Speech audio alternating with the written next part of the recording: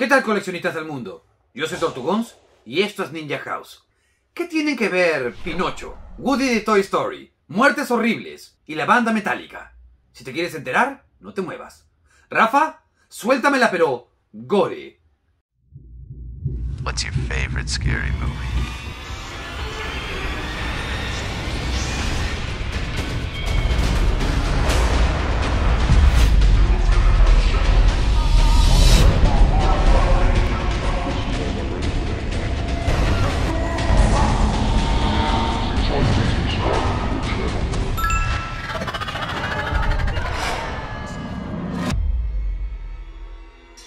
Ya es octubre, el mes más hermoso de todo el año. Y vamos a empezar nuestro ciclo de terror con unas figuras que creo que te van a gustar. Gracias a NECA en un double pack alucinante, llegan Tunneler y Pinhead de The Puppet Master. Y no solamente estos, Blade y Torch. Miren, y vienen en cajita que se han nacido ¿Qué dicen? ¿Los abrimos? Ay, son juguetes que podrían matarte, weón, es lo máximo. Hablemos de Metallica. Puppet Masters tiene que ser uno de los álbumes trash metal más populares de los años 80. Espera, espera, espera, espera, espera un ratito, huevón. Ese es Master of Ah. Puppets y esto es Puppet Masters, las películas. Este... Aguanta, eh, no me digas que todo tu guion es sobre Metallica. improvisaré. ¿Pue- ¿Puedo usar mi voz de terror? Haz lo que quieras. Tamare, dejé de rapear para aguantar este pastrulo. Siempre me han llamado la atención aquellas historias donde se refleja un peligro real. Hablo del peligro donde algún juguete podría terminar siendo la causa de tu muerte. Como Chucky. Tengo un huevo de videos hablando de Chucky, te dejo uno aquí arriba para que sepas más del muñeco diabólico. Annabelle. Otro juguete del cual he hablado mucho. Link aquí arriba si quieres saber más de la muñeca más terrorífica del siglo. Pero esto es solo la punta del iceberg. Existe una lista gigante de entregas de todos los presupuestos y clasificaciones, donde la propuesta protagonista es de un juguete que cobra vida y amenaza con ser, digamos, un problema en tu vida. Desde cortometrajes inspirados en libros famosos, como Battleground de Stephen King de 1972, la cual fue adaptada a live action en el 2006. ¿No lo has visto? Es ridículamente graciosa. Episodios para la televisión como Dark Room de 1981, en el episodio Sage of the 31st August, y claro, largometrajes como Tales from the Hood de 1995, o más suavecito Small Soldiers de 1998. O sea, aquí nadie muere, pero hay una amenaza latente. Podría mencionar a Toy Story también, pero claro, desde la perspectiva de Sid. ¿Se imaginan que esto te pase a ti? Juega bonito, Sid. Pero entre ellas existe una saga que para mí son obras maestras, que empezaron con un presupuesto de porquería, logrando trascender en la cultura popular y los amantes del terror. Puppet Master. Pero antes de entrar de lleno en el tema, quiero pedirte que me dejes un terrorífico like y te suscribas a Ninja House. Ahora sí, agárrate porque esto va a ser un viaje largo. A ver, la cosa es bien extensa, así que partiré en orden. Puppet Master, o también conocida en español como el amo de las marionetas o el juguetero del diablo, es el nombre de una saga de películas de terror sobre un titiritero, André Toulon, que descubre el secreto de la vida, haciendo que sus marionetas cobren vida y maten a cualquiera que se cruce en su camino. Cada una de las marionetas está equipada con su propio dispositivo único y peligroso. Aunque no en todas las entregas de la serie los títeres son retratados como amenazas, y están representadas como héroes o antihéroes o incluso antagonistas. Producidas por Full Moon Futures, la serie fue creada en 1989 con la entrega de la primera película del mismo nombre, que desde entonces ha sido seguida por 10 secuelas, incluyendo un cruce con los personajes de Demonic Toys, dos de cómics miniseries y numerosas piezas de colección. Esta serie de películas viene confundiendo a millones de fans alrededor del mundo hace un huevo de años.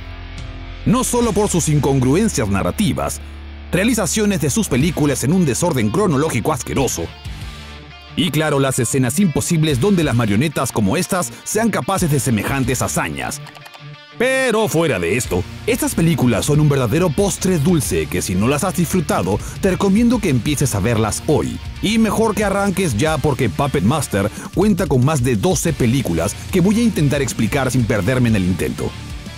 La serie Puppet Master es inextricable, o sea, bien confusa. Por ejemplo, en Puppet Master, la primera película de la franquicia, Toulon se suicida en el año 1939 en la bodega de Bay, California. En la segunda entrega, los muñecos desenterraron su cuerpo para devolverle la vida, y en la lápida figura el año 1941, lo cual es confuso si es que se suicidó en 1939. Mientras que en Puppet Master 3, Toulon's Revenge tiene lugar en 1941 y Toulon todavía estaba vivo. O sea, what the fuck, muchachos. Revisen su cronología. En un intento de resolver la confusión, las películas a continuación se enumeran en orden cronológico basado en la parcela de los resúmenes de cada película. Así que si quieres verla, digamos en orden, sería algo así. Puppet Master 7. Retro Puppet Master. André Toulon regenta un vanguardista teatro de marionetas en el París de antes de la Primera Guerra Mundial. Y está enamorado de Ilsa, esta chica de acá, la encantadora hija del embajador suizo. Cuando Afsel, un hechicero egipcio que ha robado el secreto de la vida a un antiguo dios, es asesinado, Toulon debe enfrentarse a los sirvientes de este dios para recuperar a Ilsa, que ha sido secuestrada. Es hora de que André y sus muñecos salven a la mujer que aman. Así que así empezamos. Suavecito. Luego sería Puppet Masters 3, la revancha de Toulon. En Berlín durante la Segunda Guerra Mundial, el régimen nazi desarrolla una droga que revive a los muertos, con el fin de utilizar esto en pro de la guerra. Toulon despierta la sospecha como un disidente nazi y su secreto es descubierto. Durante una invasión nazi en su hogar, la bella esposa de Toulon promete vengarse con la ayuda de sus títeres animados, pero es asesinada. Toulon desea venganza y sus marionetas ayudarán en esta causa logrando escapar a Suecia y posteriormente a América. Ahí es cuando vienen a nuestro continente. Ahí, sigamos. Puppet Master, Axis of Evil. Esto arranca en 1940, Segunda Guerra Mundial. Después de que André Toulon se suicide para no ser capturado por los nazis, Danny Coogan, un residente y empleado de la bodega Bay, junto con el tío Len, deciden convertir a André en un títere. Cuando ve a su novia Beth coqueteando con un tipo llamado Max, Danny se da cuenta que Max es uno de los nazis que vio durante la muerte de Toulon. Decide espiarlo y descubre que está planeando lanzar bombas a los Estados Unidos. Ahora Danny y los títeres, junto a su nuevo títer especial, planean vengarse de los nazis. Peliculón. De ahí vendría Puppet Master 10 o Puppet Master X, Axis Rising, secuela de Axis of Evil. Después de frustrar un complot para hacer explotar una planta de armas estadounidense, Danny Coogan y su novia descubren que sus problemas no han hecho nada más que comenzar. Un grupo de marionetas están en poder de los nazis, los cuales usarán a un ocultista para darles vida y así tenerlas en sus filas. Maldita sea, nazis de mierda. La siguiente película sería Puppet Master Axis Termination. Tiempo después de derrotar a las marionetas nazis y frustrar los planes del general Mobius de asesinar al general Porter, Danny Coogan y su novia Beth son asesinados por un grupo de nazis. Ay, pobre Danny. Tras esto, las marionetas de Toulon se verán obligados a trabajar con un grupo de psíquicos para enfrentar nuevamente a los nazis y a las marionetas Axis. Se debe destacar que entre los integrantes del grupo de psíquicos se encuentra el Dr. Ivan, o Decadent Evil, quien además se vuelve el maestro de las marionetas en la película. Y es así como llegamos a Puppet Master. André Toulon es un titiritero y el mejor en su tipo. Un día descubre una antiquísima fórmula egipcia para que los muertos regresen a la vida y decide utilizarla en sus títeres. Los nazis, que seguían sus pasos desde su encuentro con ellos en Alemania, en ya sabes, Puppet Master 3, envían dos agentes para arrestarlo. Desesperado, el titiritero comete suicidio. Años más tarde, cuatro psíquicos son enviados a investigar acerca de Toulon y los hechos sobrenaturales que ocurren. Sin embargo, los títeres harán todo por detenerlos. Después tendrías que ver Puppet Master 2. Las marionetas vivientes consiguen revivir a su creador, André Toulon, pero para mala suerte, este renace en los momentos previos de su muerte y su obsesión por resucitar a su esposa Elsa. Ahora acechan a un grupo de parapsicólogos que investigan un viejo hotel. ¿Qué estarán tramando estas marionetas y qué querrá Toulon en realidad? ya lo sabrás. Puppet Master 4, cuando las marionetas malas se convierten en buenas. Los muñecos se enfrentan a los Totems, dos diabólicos mellizos que les roban su energía. Con la ayuda de una nueva marioneta, de Capitron, que dejó Tulon antes de morir, quizás puedan salir victoriosos de esta. ¡Qué miedo! Al final, Tulon nombra a un nuevo maestro de marionetas en su lugar. ¿Quién? Espérate. De ahí viene Puppet Master 5, capítulo final. La banda de muñecos vivientes se revela contra un faraón demoníaco de otra dimensión que controla su propia tropa de muñecos asesinos. Puta, ojalá que no sea la final. Claro que no, porque después viene Puppet Master 6, la maldición del maestro titiritero. El Dr. Magru intenta emular el trabajo del demente Tulon y utiliza a su asistente como conejillo de indias. Los muñecos, que hasta ahora han sido mudos testigos de esta barbaridad, despiertan y toman revancha amarga contra el científico. Puppet Master 8, The Legacy. Última película de la saga de las marionetas asesinas, repasando la historia de todas y cada una de ellas y recordando el legado de estas. Es divertida. Y por último, Puppet Masters 9. Puppet Master vs. Demonic Toys. Este es un crossover que tienes que ver, brother. Un grupo de jugueteros recaban la fórmula secreta de André, que ahora se halla en manos de Robert, sobrino de aquel, en fin, después digo quién es Robert, con la que pretenden traer a la vida una línea de juguetes que serán lanzadas para Navidad. Y ahí dejo de contar. Y si crees que seguirle el orden a estas películas es difícil, seguirles el paso a los orígenes y apariciones de todas las marionetas de esta saga es imposible.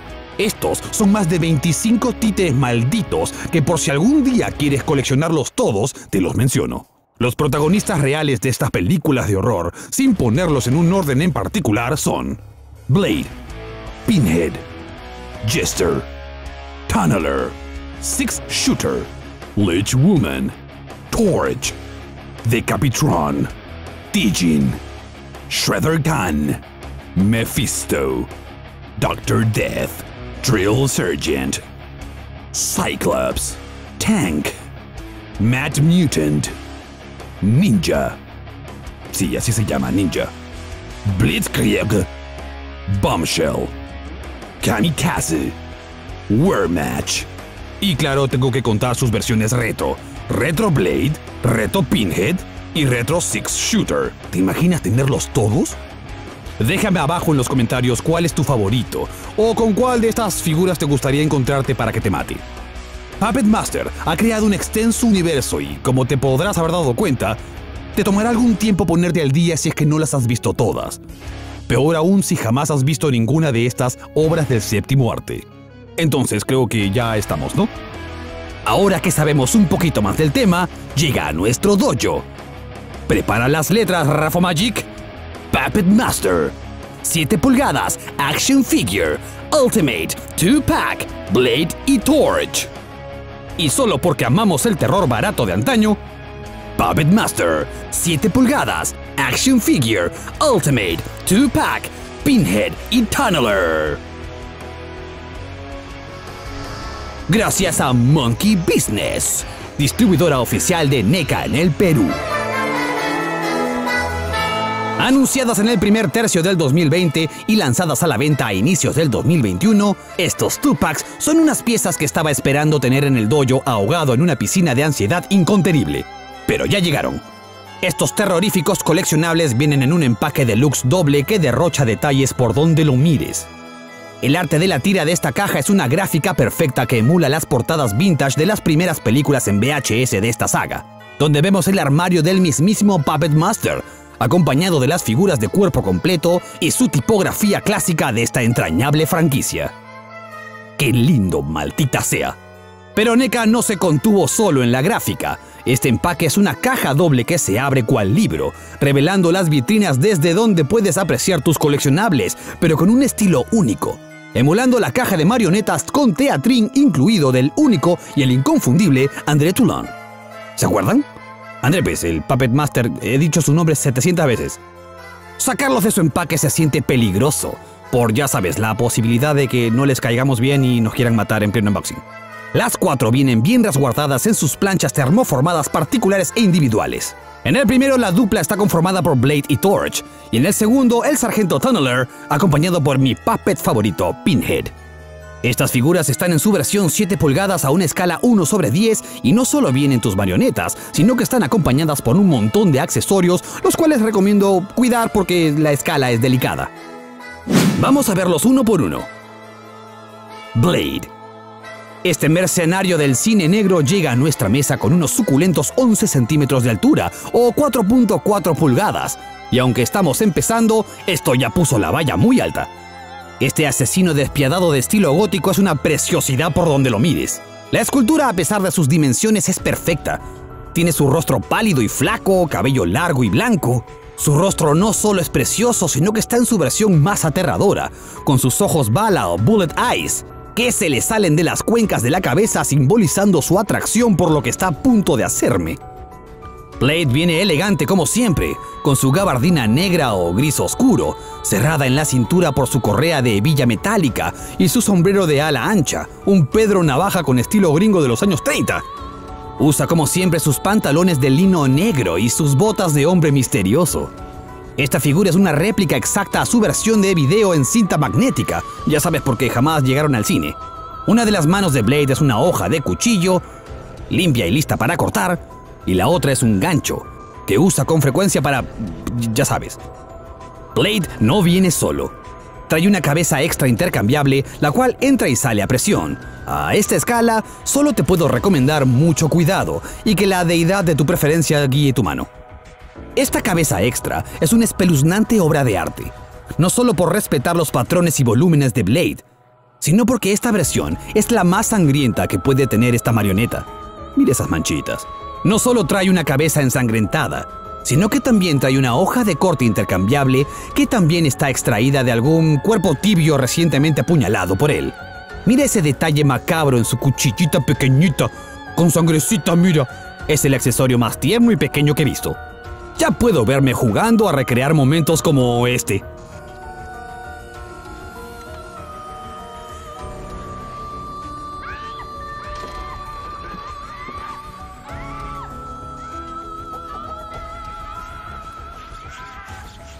Blade, a pesar de su tamañito, viene con todas las propiedades para ser tan letal como siempre. Este coleccionable se mueve y se mueve bien, gracias a sus más de 16 puntos de articulación, los cuales están en cabeza, mandíbula, hombros, codos, muñecas, o en este caso garfio y cuchilla porque no tiene mano, cintura, piernas, rodillas y pies. Torch, o en español, la antorcha, llega a nuestra mesa con unos suculentos 11.8 centímetros de altura o 4.8 pulgadas. Y puedo decir que este unboxing se pone cada vez mejor. Miren esto, maldita sea, es perfecto.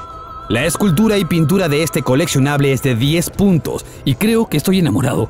Si se prende de verdad, yo también lo hago, lo prometo.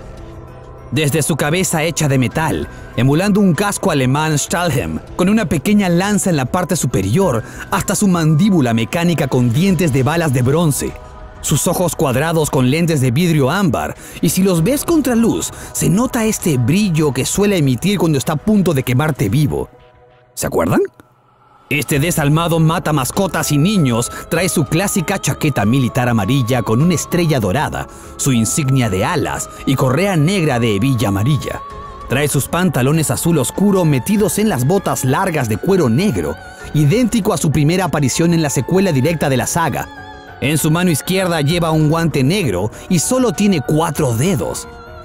En su mano derecha tiene un cilindro lanzallamas negro, el cual debes ensamblar tú mismo pues el efecto de fuego viene aparte. Porque claro, por más que este desquiciado piromaníaco le guste andar con la flama encendida, tienes la opción de exhibirlo sin ella. Este efecto de fuego es muy bueno, no solo en el color, sino también en su escultura, idéntico a escenas como esta,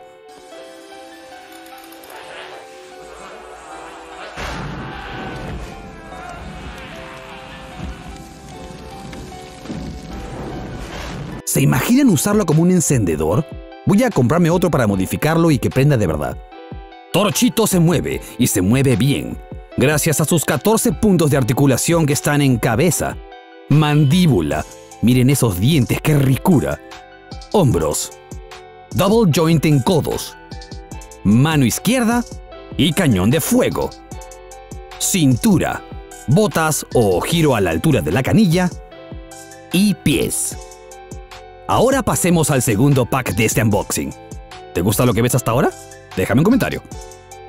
Tunneler. Pero qué cosita tan tierna.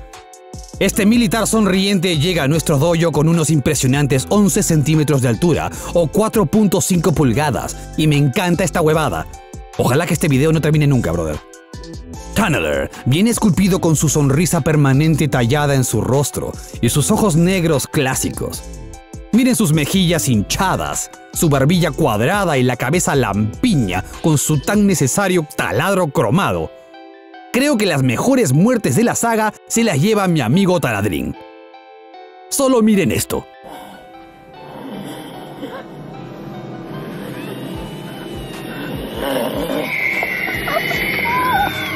Tunneler trae su clásico uniforme verde de soldado con forros dorados y su medalla de estrella brillante en el bolsillo izquierdo.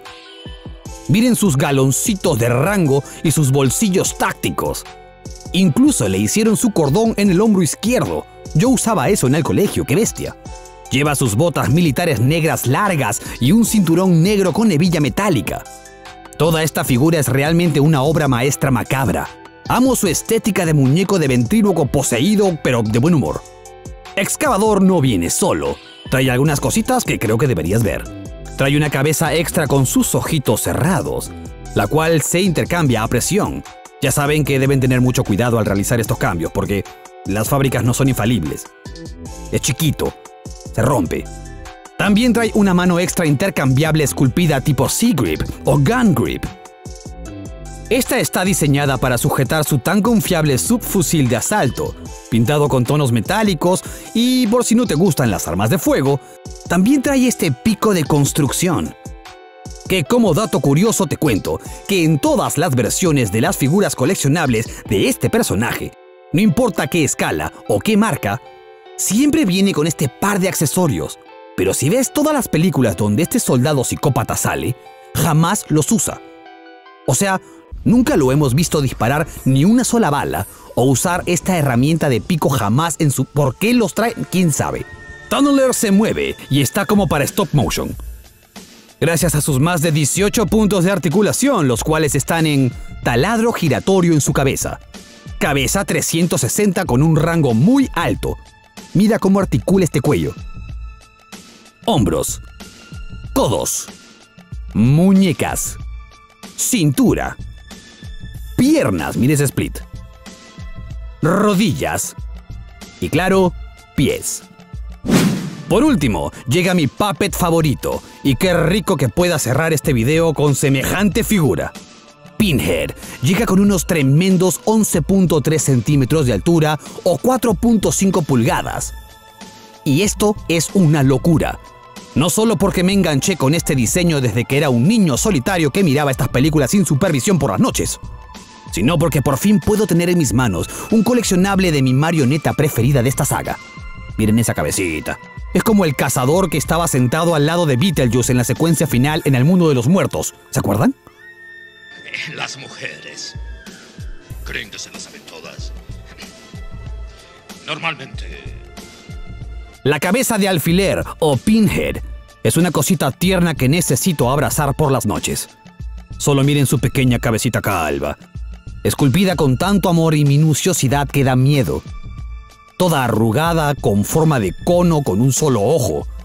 Qué galán por mi madre, qué galán. Su escultura no sobrepasa al pintado, pero debo admitir que NECA siempre me deja con la boca abierta. Su torso es muy grande, como debe ser, y usa un suéter de lana de color rojo oscuro o marrón, como debe ser. Me encantan sus brazos grandes y fuertes y mucho más grandes que su cuerpo. Siempre amé el hecho de que para la realización de la película, en más de una ocasión sus manos eran de un actor real, lo que le daba a este puppet una movilidad extraorgánica. Miren esas manos humanas con guantes negros sin deditos. Sus pantalones grises y sus zapatos negros con correas marrones. Recuerdo que en Axis Rising su ropa original se dañó y fue reemplazada por un suéter negro, pero eso es para otro video. Dime que no es una cosita linda que te mueres por tener. Pinhead trae aparte un par de manos extras intercambiables tipo Sea Grip. Estas son un poco más grandes, pero igual siempre ten cuidado al intercambiarlas, porque una vez sueltas, el puño de la chompa quedará libre y podría extraviarse. ¿Y qué puedo poner en sus manos? te preguntarás. Pinhead es la figura que más accesorios trae, así que ponte cómodo y repasémoslos. Trae este precioso atizador de chimenea, idéntico a esta escena cuando mata a esta tía en la sala de piano de la mansión. ¿Se acuerdan?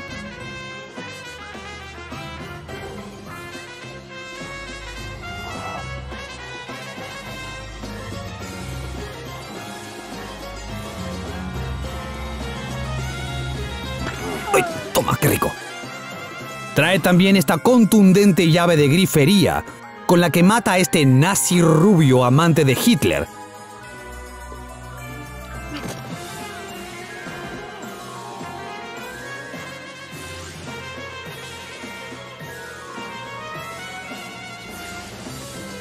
¡Toma! Y ahora sí, muérete, maldito. ¡Qué buena escena, carajo! También trae este balón de destilación químico con fórmula adentro, que si no tienes idea de dónde o por qué viene aquí, es el mismo que usa Pinhead en esta escena para revivir a su creador muerto.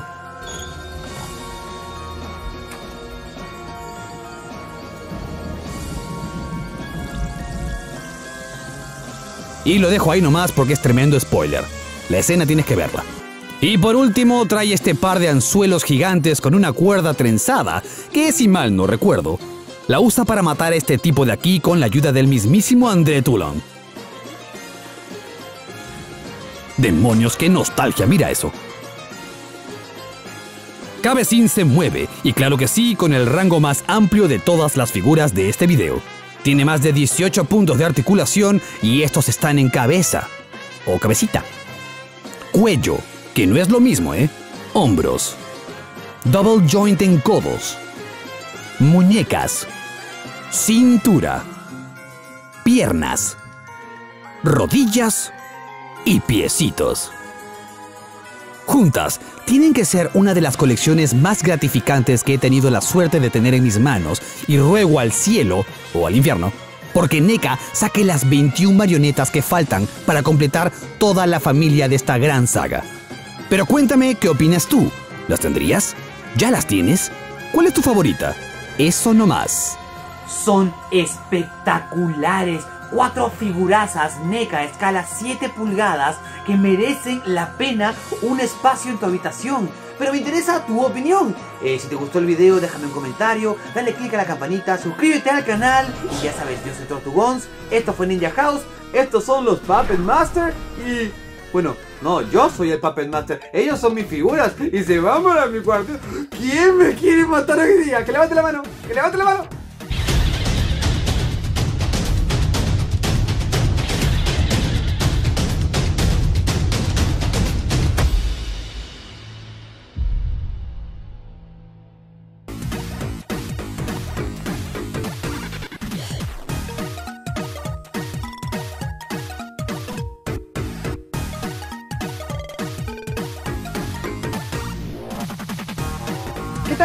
Yo soy Rafa Magia y esto es Ninja House, solo para decirles que este mes ya se puso raro.